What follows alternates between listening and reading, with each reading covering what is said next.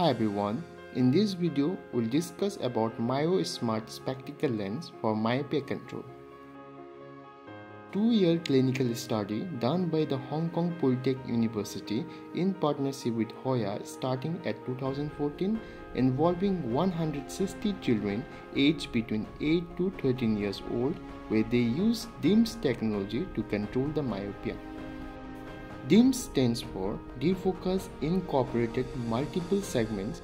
This lens design looks like a single vision lens but works under DIMS technology where the center of the lens has clear zone of 9.4 mm with single vision correction to focus the image on retina and see clear, whereas 33 mm of peripheral has hundreds of myopic control segments with plus 1.5 spherical power each segment to defocus the image in front of the retina which controls the axial length elongations and control myopia. But this requires at least 1 to 2 weeks of adaptation time because of off-axis blur image